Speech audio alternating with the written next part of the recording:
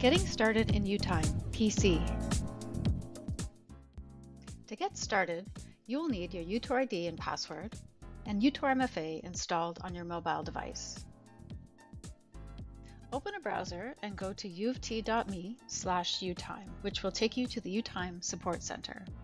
Then click on Login to UTime. You will be taken to U of T's web login page. Enter your UTORid and password, and then press Login.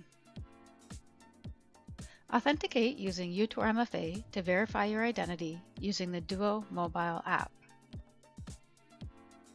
Using your mobile device, press Approve when prompted. You'll receive a confirmation message that authentication has been successful. If you're unable to log in, please visit utorid.utoronto.ca and click on Verify your UTORid and password. You can then type in your UTORid and password and check to verify. If you've forgotten your UTORid or password, you can contact your campus help desk. If you're an employee and still can't log in, please contact your manager or payroll administrator for assistance. In the meantime, keep track of your hours so they can be entered in later. For security purposes, when you've completed your work, make sure to sign out.